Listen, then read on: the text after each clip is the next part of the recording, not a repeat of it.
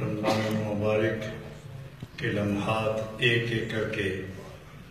तो माजी में तहलील हो रहे हैं, गुजर रहे हैं, ख़त्म हो रहे हैं।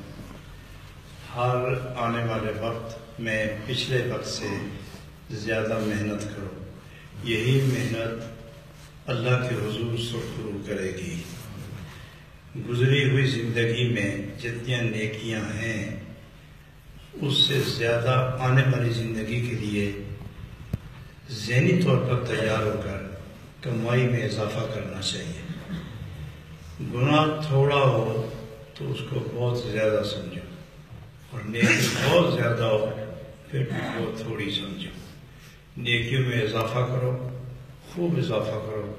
माल में, जान में, बदन में अखलाक में, आमाल में खसाल में खसलतें अच्छी, आदतें अच्छी, गुफ्तगु अच्छी, आदतें अच्छी। ज़ाय बातिन को साफ़, पाक मुसफ़ा रखो ताकि अल्लाह और अल्लाह के महबूब के जलवे आपके वजूद की तरफ़ रुख करें। गंदे पानी में, गंदे बर्तन में कोई आदमी पानी पीने को तैयार नहीं तो दिल और रूह गंदे हो तो खुदा का नूर कैसे अंदर आएगा?